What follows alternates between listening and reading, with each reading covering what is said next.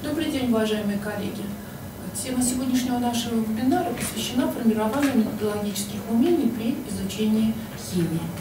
Что такое методология? Методология происходит от греческого слова учение о способах. Это учение о методах, способах и средствах познания. Если мы говорим про методологические умения при изучении химии, то, конечно, нужно отметить, что формирование этих умений будет опираться на теоретические знания, которые связаны с усвоением теоретических знаний о методах научного познания, и, конечно же, экспериментальные умения, которые связаны с усвоением а, умения проводить наблюдения, опыты, различные исследования. Важности а, формирования методологических умений школьников а, посвящены требования, в том числе федерального государственного образовательного стандарта, как основной школы, так и старшей школы. В э, разделе естественно-научные предметы отмечено, что наши школьники должны овладеть научным подходом к решению различных задач, овладением умением формулировать гипотезы, конструировать, а, проводить эксперименты, оценивать полученные результаты.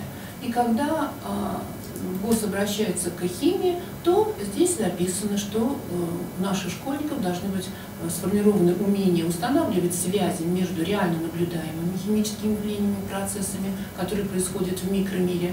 Школьники должны уметь объяснять причины многообразия веществ и, очень важно, зависимость их свойств от состава и строения. В стандарте отмечается также, что школьники должны приобретать опыт исследования различных э, методов изучения веществ, то есть наблюдений за превращением при проведении различных химических экспериментов с использованием лабораторного оборудования и приборов. А в стандарте старшей школы в портрете выпускника отмечается, что выпускник должен владеть основами научных методов познания окружающего мира. И когда в стандарте говорится о предметных результатах, которые должны быть сформированы у учеников, изучающих химию на базовом уровне, там отмечено, что а, предметные результаты должны отражать владение основополагающими химическими понятиями, теориями, законами и закономерностями, что ученики должны владеть основными методами научного познания, используемыми в химии. То есть а, уметь наблюдать, а, описывать эти наблюдения, измерения, они должны владеть таким умением, проводить эксперимент и так далее. И более того, у них еще должна быть сформирована готовность и способность применять методы познания при решении различных практических задач.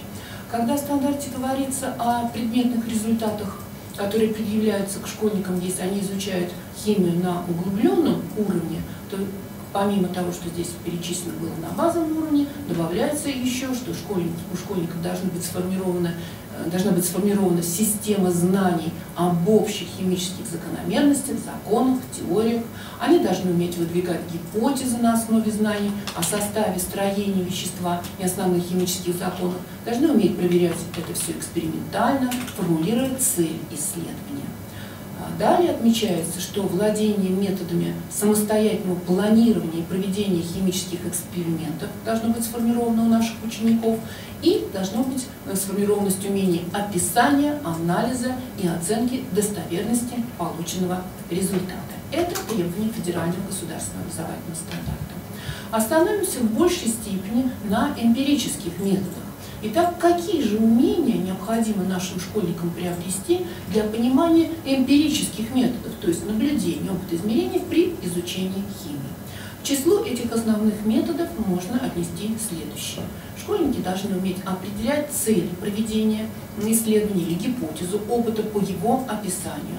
Они должны применять основные операции мыслительной деятельности для изучения свойств веществ и химических реакций, знать назначение приборов и отдельных частей приборов для проведения соответствующего опыта или исследования.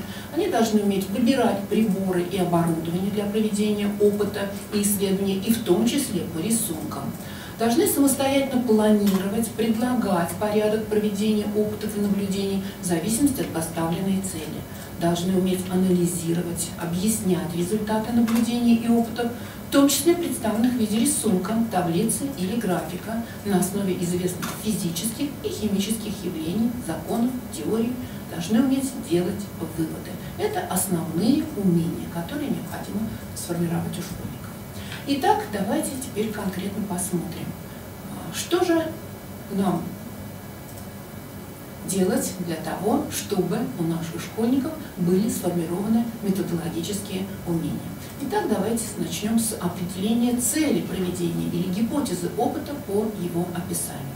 Не секрет, что когда наши школьники выполняют какой-то опыт или практическую работу, они зачастую не понимают цели, для чего они это выполняют, зачем им это нужно.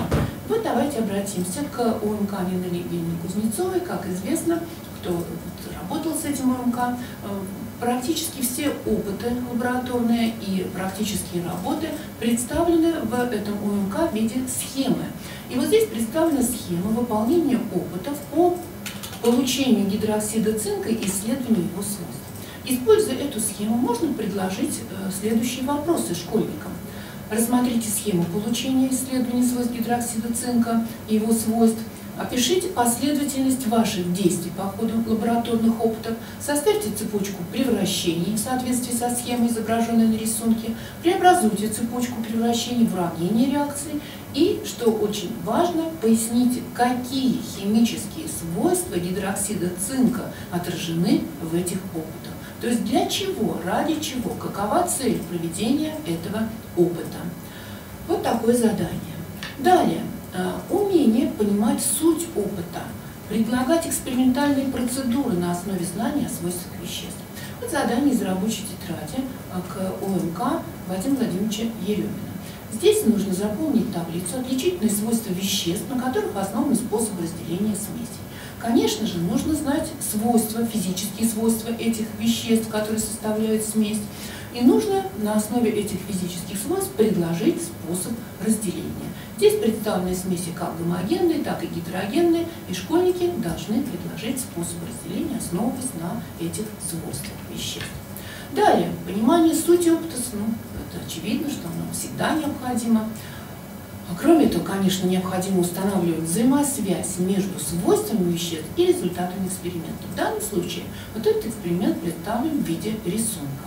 Этот рисунок иллюстрирует один из способов получения водорода в лаборатории. Естественно, конечно, надо составить уравнение протекающей реакции и ответить на вопрос, на каком свойстве водорода основан способ его собирания. Что здесь важно школьникам знать? Важно знать, что э, методом вытеснения воды можно собирать только те газообразные вещества, которые в воде не растворяются. Вот это достаточно такое простое задание, но тем не менее понимание свойств водорода для выполнения этого задания необходимо.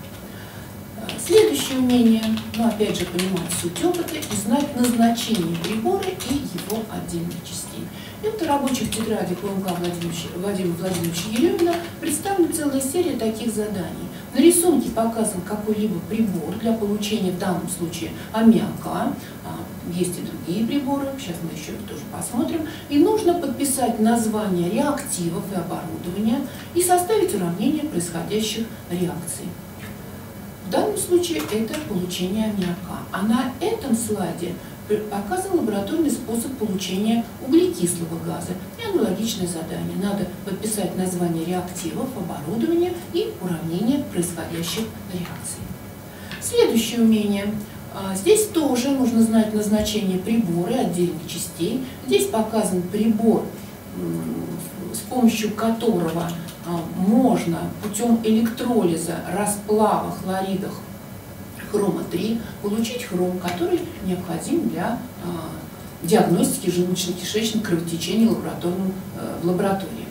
То есть здесь даже еще указано конкретное практическое применение хрома, который получается с помощью этого прибора, с помощью электролиза. И задание аналогичное. Надо дополнить рисунок, указать название электронов, электродов, название процессов, протекающих на них, а также формулы частиц, которые движутся к электродам. Опять мы говорим про назначение прибора, его отдельных частей. А, умение выбирать приборы и оборудование для проведения опыта и в том числе по рисункам. Вот это такое традиционное задание. Оно, это задание, используется часто и в контрольно-измерительных материалах единого государственного экзамена, э, простите, не единого, а ОГЭ, основного государственного экзамена. ЕГЭ таких заданий не, не встречается. В каком из приборов можно получить и собрать аммиак? Конечно же, для того, чтобы понимать, в каком приборе нужно получить, можно получить аммиак, здесь представлено 4 прибора, нужно обязательно учесть молярную массу аммиака, аммиак легче воздуха, и обязательно учесть, что аммиак прекрасно растворяется в воде. Поэтому прибор, а, изображенный на рисунке Г, где вытеснение идет методом воды, конечно, использовать нельзя. Нельзя также использовать прибор под буквой А, поскольку э, этот прибор позволяет собирать газы, которые тяжелее воздуха. Таким образом, мы должны обратиться к прибору Б методом вытеснения воздуха, и пробирочка должна быть донышком вверх для того, чтобы собрать аммиак. Вот, то есть мы понимаем, что вот выбор этого прибора можно сделать только тогда, когда школьники знакомы с физическими свойствами аммиака. Опять мы говорим про назначение прибора отдельных частей, опять говорим про умение выбирать приборы по рисункам. На этом слайде, в этом задании, нужно отметить на рисунке, какой посудой, каким оборудованием нужно воспользоваться для собирания прибора, с помощью которого можно отделить жидкость от нерастворимых в ней веществ. Здесь представлено очень много различных приборов и различного оборудования. Школьнику нужно понимать, что жидкость от нерастворимых веществ, ну, эту, эту гетерогенную смесь можно разделить, естественно, с помощью воронки, с помощью фильтра, ну и подобрать соответствующее оборудование. То есть нужно взять и стакан, э, и колбу, и, конечно же, воспользоваться штативом для удобства. Следующее. Здесь э, на этом слайде представлено задание из УМК э, Нины Евгеньевны Кузнецовой. Для выполнения этого задания э, необходимо анализировать, объяснять результаты опытов наблюдений, которые представлены вот в таком описании, и умение делать выводы. Задание это называется «Закон постоянства состава». Достаточно интересное задание. Здесь э, говорится о том, что э, Пруст, французский химик, открывший закон постоянства состава, подтвердил этот закон на примере оксидов олова. Однако другой французский ученый Бертоли э, посчитал, что для соотношения, что для соотношения химических элементов соединения могут быть любыми, зависит от соотношения масс, взятых для реакции веществ, и причем доказал это экспериментально. И вопрос, кто же прав, как установить истину, опираясь на упомянутые факты. А, надо сказать, что вот этот спор Пруста и Бертолли вошел в историю развития науки, что а, сначала победил в этом споре Пруст, потому что считалось, что эксперименты, которые он проводил, и анализы, которые он выполнял, были более точными, но потом, как мы знаем, а, подтвердились и подтвердилось и мнение Бертолли о том, что есть вещества, которые имеют переменный состав. Следующее задание, где тоже нужно применить умение анализировать, объяснять результаты наблюдений и опытов а, на основе знания о составе, строении и свойствах веществ и делать выводы. Вот такое задание из УМК Вадима Владимировича Еремина. Вы знаете, что дистиллированная вода не проводит электрический ток. Как вы можете объяснить наблюдение, сделанное немецким физико-химиком Кальраушем? Электропроводность воды, оставленной в открытой платиновой чашке, повышается в два раза через 6 часов. Вот такое задание, которое э, необходимо выполнить, опираясь на э, знание того, что, конечно же, эта вода будет поглощать углекислый газ, и, соответственно, углекислый газ, растворяясь в воде, даст угольную кислоту, и это будет повышать электропроводность. Это одна из причин того, что электропроводность повышается. Еще интересное задание – здесь рассказано о так называемой ошибке Фарадея, которая тоже вошла в историю науки. И здесь при выполнении этого задания тоже необходимо а, применить умение анализировать, объяснять результаты наблюдения опытов, выявлять данные, необходимые для формулировки вывода, и делать выводы, оценивать соответствующие, соответствие выводов имеющимся экспериментальным данным. Итак, в начале XIX века Фарадей изучал явление электропроводности растворов И на основании своих экспериментов он сделал правильный вывод, что переносчиками тока в растворах являются ионы. Но Фарадей считал, что ионы образуются под действием электрического тока. Вот так называемая ошибка Фарадея. Какие факты, задается вопрос в этом задании, вы можете привести к доказательству того, что ионы в растворах образуются не под действием электрического тока? Вот такое интересное задание. Далее, э, необходимо для выполнения этого задания, где информация представлена в виде графиков, э, применить умение анализировать и объяснять результаты наблюдений и опытов, представленных в виде графика. Нужно выбрать график, где правильно изображена зависимость, растворимость нитрата калия в воде от температуры на графике. Ну, как известно, растворимость твердых веществ повышается с ростом температуры. И э, вот этот график, соответствующий растворимости нитрата калия в воде, он представлен на рисунке, на графике В. Это график В. Еще интересное задание, где информация представлена в виде рисунка. Опять же, те же умения анализировать, объяснять результаты наблюдений опытов, которые представлены в виде рисунка, и делать выводы.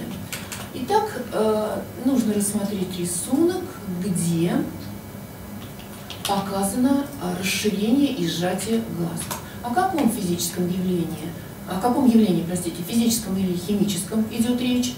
А почему газ выходит из пробирки, когда ее держит рукой, и почему вода заполняет пробирку, когда ее убрали? Вот такое интересное задание, а задание такого междисциплинарного характера. Это и э, задание, которое можно предлагать нашим школьникам как при изучении физики, так и при изучении химии. Еще интересное задание. Три цилиндра наполнили газом, азотом, сероводородом, оксидом серы, поместили кристаллизатор с водой. Какой газ был в каждом цилиндре? Дайте обоснованный ответ. На э, этом рисунке представлены уже результаты этого эксперимента, и ответить на поставленный вопрос можно только в том случае, если э, знать о растворимости, о различной растворимости этих газов. Совершенно очевидно, что лучше всего из представленных газов растворяется в воде оксид серы 4, сероводород растворяется хуже, и азот совсем плохо растворяется. И, соответственно, по уровню, по уровню поднятия жидкости можно сделать вывод, какой газ находился в каждом цилиндре. Чем лучше растворяется газ в воде, тем выше поднимается уровень жидкости. Соответственно, 3 – это оксид серы 4, сероводород это 1 и азот это 2. Далее, а, опять же, умение анализировать, объяснять результаты наблюдений опытов, представленных в виде рисунка. Как известно, воздух представляет смесь газов. Процесс разделения воздуха а, на составляющие компоненты представлен на рисунке. Вот этот рисунок взят из учебника Нины Евгеньевны Кузнецовой метод разделения воздуха здесь показан на основные компоненты кислород, аргон и азот. И дальше, используя этот рисунок, можно составить несколько вопросов, которые будут представлять собой так, такие интересные задания, связанные с умением анализировать и объяснять результаты наблюдения опыта. Итак, Первый вопрос. Какой э, процесс, физический или химический, лежит в основе разделения воздуха на составляющие компоненты? В чем заключается сущность этого процесса? И э, во втором вопросе нужно описать процесс разделения воздуха на, составля... воздуха на составляющие компоненты, используя рисунок, указать и обосновать последовательность выделения газа из жидкого воздуха. Как известно, наши школьники не слишком хорошо умеют сразу сравнивать отрицательные температуры. И вот это вот задание, которое еще связано с тем, чтобы школьники а, умели а, использовать как устную, так и письменную речь для описания процесс, процессов. Как известно, в последнее время они а, не слишком хорошо справляются с таким заданием, где нужно дать развернутый письменный или устный ответ. Но тяжелее. Еще очень интересное задание в рабочей тетради для 10 класса в Владимира Владимировича Еремина. Опять же, здесь нужно анализировать, объяснять результаты наблюдения в виде рисунка и делать выводы. Итак, вот такое интересное задание. Повар-технолог при при приготовлении черного хлеба смешивают муку, поваренную соль, сахар, воду и дрожжи. После этого помещают на несколько часов в емкость, чтобы начался процесс брожения. При брожении в тесте происходят химические процессы. Дрожжи, одноклеточный гриб, преобразуют в крахмал, крахмал, содержащийся в муке и сахар, в углекислый газ и спирт. Там несколько заданий сформулировано вот к этому, эм, к этому тексту, но я выбрала только то, что для нас наиболее интересно, а именно вот такое задание. Через несколько часов после приготовления теста повар э, взвешивает его и обнаруживает, что масса тела уменьшилась. В начале каждого из четырех экспериментов, изображенных на рисунке, масса теста одна и та же. Результаты каких двух экспериментов нужно сравнить, чтобы выяснить, являются ли дрожжи причиной уменьшения массы тела. Но совершенно очевидно, что мы, конечно же, не можем выбрать весы первые, весы вторые для сравнения, потому что здесь а, закрытая пробка, и, соответственно, масса не будет меняться при закрытой пробке. А, а вот эксперимент 3 и 4, наверное, как раз нам подойдет. Почему? Потому что здесь пробка отсутствует, и в одной э, этой стеклянной банке есть э, дрожжи, а в другой банке этих дрожжей нет. Соответственно, вот как раз дрожжи их отсутствие или наоборот их присутствие вот, позволит нам сделать такой вывод по изменению массы. Конечно же, там, где были дрожжи, вследствие того, что углекислый газ улетучится, масса этой склянки станет немножечко меньше. Мне кажется, что вот это очень интересное задание, которое позволяет а, формировать методологию научного исследования, наверное, так громко скажем. Итак, следующее задание. Здесь представлен мысленный эксперимент. А школьникам необходимо применить умение предсказывать, анализировать, объяснять результаты наблюдений и опытов, конечно же, на основе знаний о составе, строении свойств веществ и делать выводы. Вот такое задание. От степени диссоциации от концентрации вещества называется это задание. В лаборатории провели опыт. В стакан налили немного уксусной эссенции, опустили в нее электроды, приборы для изучения электропроводности растворов сопнули цель, загорелась ли лампочка. А далее в стакан стали постепенно добавлять воду, одновременно наблюдая за лампой. Что увидели экспериментаторы? Экспериментаторы, объясните наблюдаемое явление. Вот такое замечательное задание. Следующее задание, где те же умения нужно при, э, э, предъявить, те же умения нужно использовать для того, чтобы предсказать, анализировать, объяснять результаты наблюдений и опыта. Итак, коррозия металла. Это разрушение металла вследствие химического или электрохимического воздействия с внешней коррозионной средой. И, э, естественно, школьники должны знать, что от коррозии ежегодно теряется очень много металла, от 1 до 1,5%. От, э, такие вопросы здесь представлены. Два железных гвоздя помещены в стакан с водой, к одному из них прикреплена медная проволока, к другому цинковая. Какой из гвоздей быстрее заржавеет? Обоснуйте свой ответ. Вот такой мысленный эксперимент, который основан на э, знаниях о процессах коррозии. Записать уравнение электрохимических процессов далее необходимо, протекающих на поверхности цинка и железа при погружении в воду железного гвоздя с цинковой проволокой, железного гвоздя с медной проволокой. Следующее задание, э, где нужно школьникам те же самые умения показать. Итак, поместили в химические стаканы сульфат натрия, этиловый спирт, гидроксид калия, хлорид серебра. Добавили в каждый стакан дистиллированную воду, размешали содержимое, после этого опустили в каждый стакан электроды прибора для испытания веществ на электропроводность. Нужно указать визуальный эффект в каждом случае, то есть загорится лампочка или нет, объяснить причину, то есть нужно школьникам обязательно понимать, какие из этих веществ являются электролитами, какие не электролитами. Это достаточно, конечно, простое задание, но тем не менее это задание, которое тоже позволяет формировать методологические умения. Следующее задание достаточно интересное, где, опять же, нужно э, применить умение понимать суть опытов, предсказывать, анализировать, объяснять результаты наблюдений опытов, которые представлены в виде рисунка, конечно, на основе знания составе, строения и свойств веществ, делать выводы. Здесь изображены различные способы изменения массовой доли растворенного вещества в растворе, и нужно сравнить массовые доли растворов после изменения концентрации.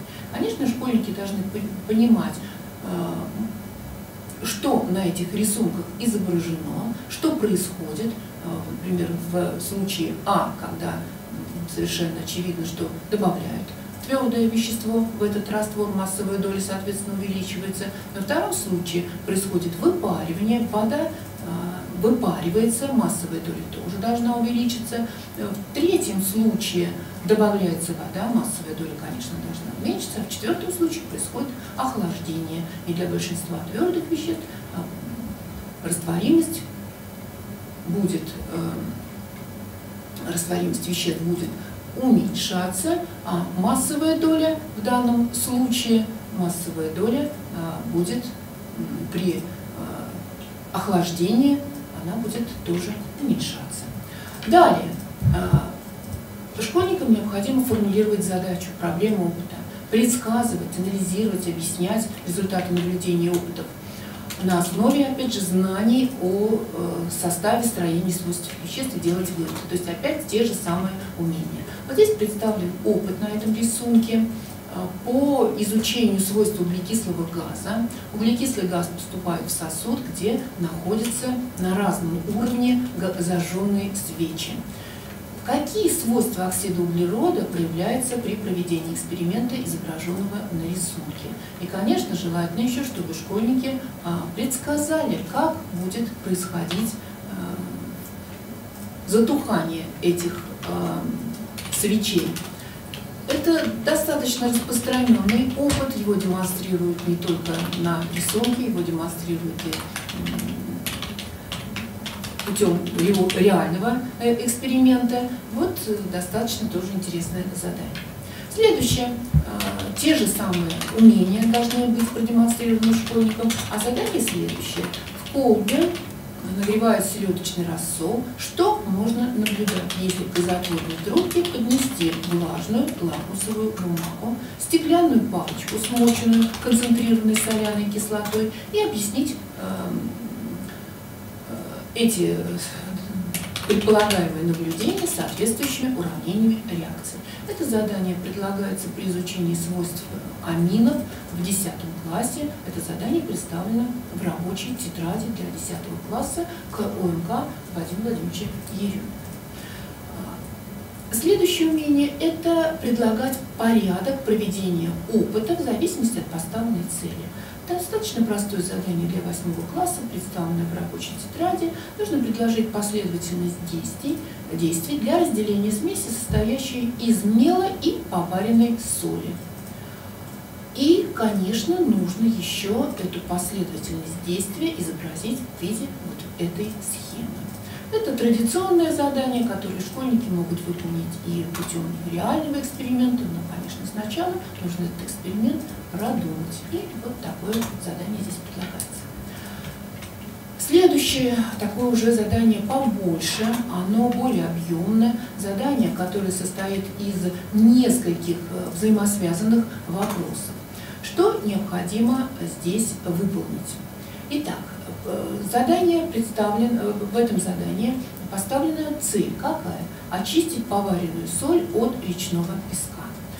Э, школьникам предлагается составить схему очистки поваренной соли от речного песка, выбрать из числа приборов, которые изображены на рисунке, те приборы, которые понадобятся для очистки указать назначение выбранных приборов, описать последовательность действий и сформулировать вывод о связи проводимых операций с составом смеси и свойствами ее компонентов. Вот это уже такое достаточно объемное задание, которое э, основано на знаниях о свойствах веществ, которые необходимо разделить. Здесь необходимо школьникам э, планировать эксперимент, такие умения они должны продемонстрировать, самостоятельно найти алгоритм решения поставленной экспериментальной задачи, делать выводы. Следующие задания, они традиционные задания, но они э, позволяют формировать методологические умения, потому что для того, чтобы выполнить эти задания школьникам, необходимо предложить порядок проведения опыта в зависимости от поставленной цели. Какие-то задания – это задания на распознавание веществ, но уже химическим путем нужно распознать, какое вещество находится в каждой из склянок, написать уравнение реакции, ход распознавания, представить в виде таблицы. Ну, мы понимаем, что традиционные задания и набор тех э, веществ, которые необходимо распознать, он может быть самым разным, ну, в данном случае сульфат калия, сульфид калия, нитрат калия. Еще задание то же самое, но может быть сформулировано несколько иначе. Как отличить друг от друга следующие вещества? Надо описать экспериментальные процедуры, которые вы придумали. А, может быть, еще дети э, могут сказать, какой реактив можно использовать, но вот описать экспериментальные процедуры подчас для них бывает сложно. Еще задание, такое традиционное тоже, доказать опытным путем, что выданное вам вещество, ну, в данном случае хлорид кальция, опять же, набор и перечень этих веществ может быть самым разнообразным. Следующее задание, где нужно предложить способ получения из куска природного мела химически осажденный мел, который входит в состав зубного порошка. То есть химическим путем нужно провести вот эти превращения. Тоже достаточно традиционное задание, в котором нужно предложить способ получения какого-либо вещества. Ну и, наконец, еще одно задание, их можете здесь привести очень много, я выбрала только самые типичные. Предложите способ очистки воздуха от примеси аммиака. И еще задание, где нужно предлагать порядок проведения опыта, выбирать наиболее эффективные способы решения задачи в соответствии с поставленной целью. Итак, в склянках находятся растворы, в данном случае нитрата бария, карбоната натрия и хлорида магния. Надо выполнить следующее задание. Это тоже такое задание, которое состоит из нескольких взаимосвязанных вопросов, структурированное задание. Надо предложить два способа распознавания этих веществ химическим путем, используя реактивы из списка. Список предложен. Гидроксид натрия раствор, раствор сульфата калия, а, соляная кислота, раствор серной кислоты и раствор нитрата серебра. Для каждого способа надо представить план проведения в виде таблицы. И вот здесь эта таблица предлагается, способ первый, способ второй, реактивы, которые можно использовать, и сравнить выбранные способы распознавания в соответствии с критериями, которые представлены в таблице и оценить рациональность каждого из предложенных способов, заполнив таблицу, поставив знак плюс или знак минус по каждому критерию. Какие это критерии? рациональности способа распознавания. Это минимальный расход реактивов, минимальное время распознавания, реальная возможность проведения опыта и, что очень важно, это отсутствие однотипных результатов у разных веществ при использовании одного и того же реагента. Ну, например, могут выпадать осадки в том и другом случае при использовании реагента, этого реагента, и эти осадки по внешнему виду различить иногда практически невозможно. Соответственно, этот реагент не будет подходить для распознавания. Конечно, нужно, а, распозна... А, нужно выбрать и обосновать наиболее, распозна... А, наиболее рациональный способ этих, распознавания этих, этих веществ и составить уравнение реакций, которые лежат в основе распознавания веществ в соответствии с выбранными способами, указать условия, признаки протекающих реакций. И вот э, как можно это задание выполнить. Если мы будем использовать серную кислоту, то, конечно, это будет рациональный способ, потому что в случае нитрата бария мы увидим выпадение белого осадка. В случае карбоната натрия мы увидим выделение газа, а хлорид магния нам видимых признаков реакции никакой не даст. То есть взаимодействие здесь никакой не произойдет. И если мы захотим сначала определить карбонат с помощью э, соляной кислоты, мы, конечно, его определим, мы увидим выделение газа. Но мы распознаем только один карбонат. Нам понадобится провести еще дополнительные исследования. Для этого мы возьмем, э, например, э, предлагаемый в этом списке гидроксид натрия, и мы увидим осадок гидроксида магния, который выпадет в пробирке, в которой находился хлорид магния. Какой способ будет более рациональный? Конечно, первый способ по всем критериям он будет более рациональный. А, во втором способе расход реактивов, естественно, будет не минимальный, и время распознавания мы должны затратить большее. Ну и далее уже составить уравнение реакции, это уже отдельный вопрос. Вот такое структурированное задание, которое состоит из нескольких взаимосвязанных вопросов. Ну и, конечно же, обратимся непосредственно к экспериментальным умениям. В обобщенном виде это умение проводить, наблюдать, описывать химические реакции, делать вывод. Ну а в каждом конкретном э, эксперименте мы можем назвать планируемый э, образовательный предметный результат. Ну, давайте посмотрим опыт, например, э, зависимость растворимости газов от температуры. Я не буду опять зачитывать все эти задания, которые здесь предлагаются, я обращу внимание только на вопросы. Конечно, выполняя любой опыт, нужно наблюдать. Что вы наблюдаете? Э, предположите, какие газы были растворены в воде. Сделайте вывод об изменении растворимости газов при нагревании.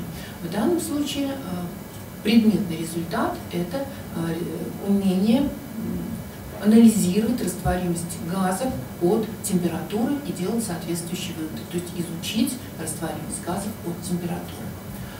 Следующий опыт, где нужно ознакомиться со свойствами щелочей. Достаточно много этих свойств щелочей. И, опять же, а, какие здесь задания? Рассмотрите, то есть наблюдайте да, выданные вам в пробирках образцы гидроксида натрия и кальция. Дальше нужно проделать а, обратить внимание на их агрегатное состояние, растворить их в воде и, соответственно, что вы наблюдаете, то есть отметить растворимость этих э, щелочей и сделать вывод соответствующий о растворимости этих веществ в воде, сравнить полученные результаты с данными таблицы растворимости. Как известно, в таблице растворимости указано, что гидроксид кальция мало растворим. Ну и далее надо исследовать э, эти растворы с помощью лакмуса, метилоранжа и фенолфталиина. Это задание для восьмого класса, оно, вы видите, очень простое, а, каких-то химических свойств здесь еще пока нет, не рассматриваются эти свойства. Записать окраску индикаторов и сделать вывод о а, реакции среды. Следующий опыт, я их здесь несколько привожу, а их можно привести, конечно же, гораздо больше, но, опять же, те же экспериментальные умения в обобщенном виде проводить, наблюдать и описывать химические реакции, делать выводы. Здесь уже изучаются химические свойства разных веществ, реакции обмена в водных растворах. Ну и, естественно, везде необходимо а, отметить наблюдение, э, нужно записать наблюдение в тетрадь, затем проделать несколько опытов и опять отметить наблюдение, записать уравнение реакций. И, конечно же, вот что самое главное, на основе этих опытов нужно сформулировать условия, при которых протекает реакция обмена водных растворах. И, конечно, когда вот эти опыты проводятся, лучше сначала, э, сначала именно чтобы школьники выполнили эти э, реакции, выполнили эти превращения, эти опыты, и уже затем, чтобы они самостоятельно сформулировали эти выводы.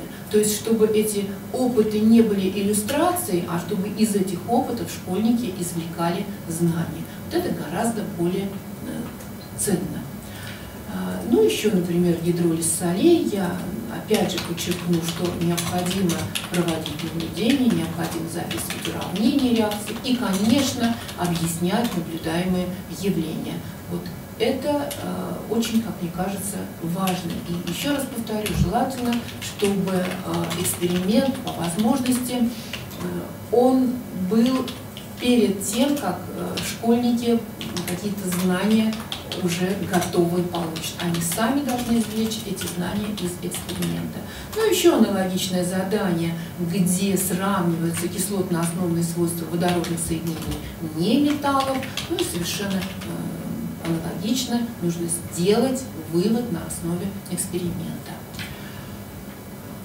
Я хотела еще отметить, что помимо каких-то лабораторных опытов, конечно же, есть практические работы, которые проводятся в конце изучения темы, где уже школьники показывают сформированные умение проводить, наблюдать и описывать, хими, описывать химические реакции, умение делать выводы. И вот здесь в качестве примера фрагмент э, практической работы, она называется «Решение экспериментальных задач по теме химические реакции».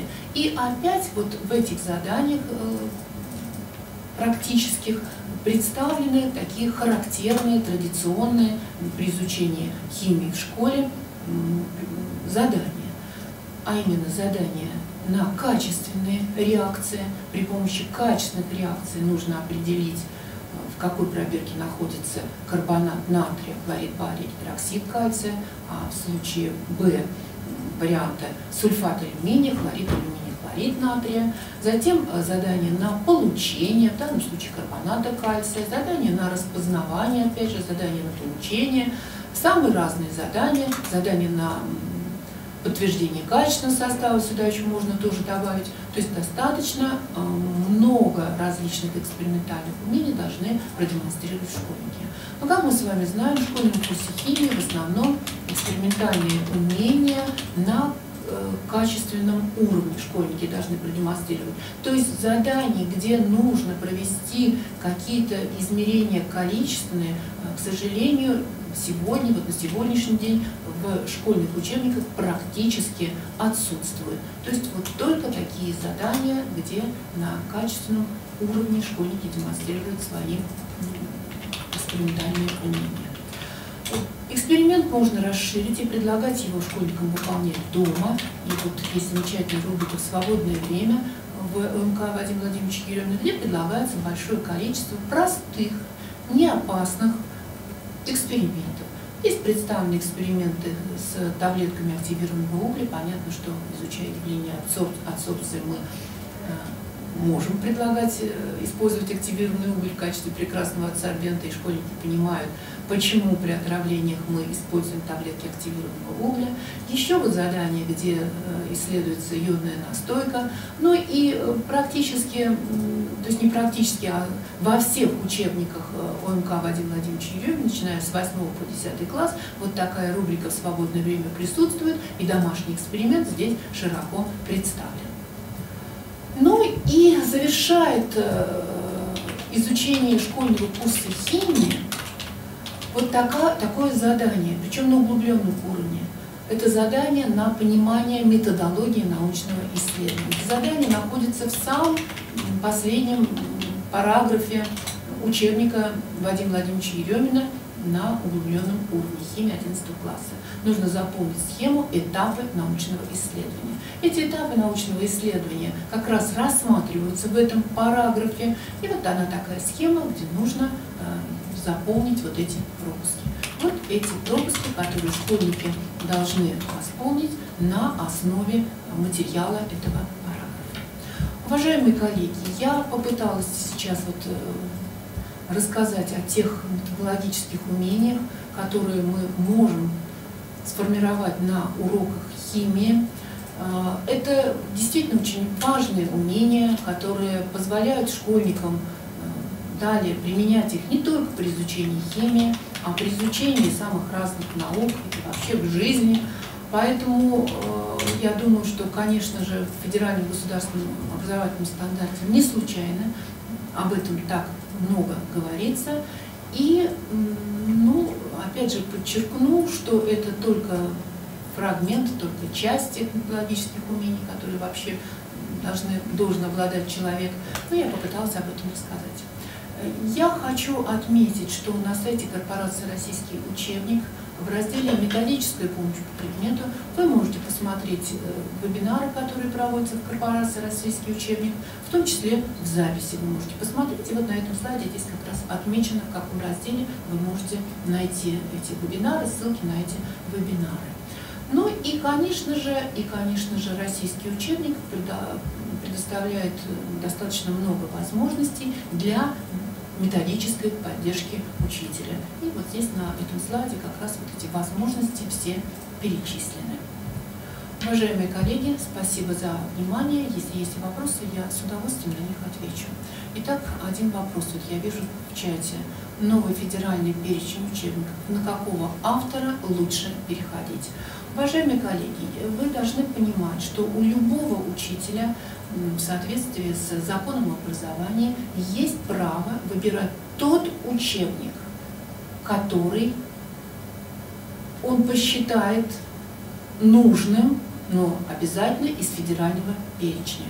В федеральном перечне из э, учебников, э, из авторов, э, которые представлены в корпорации «Российский учебник», это ОМК Вадима Владимировича Еремина. Это очень серьезные, очень глубокие учебники.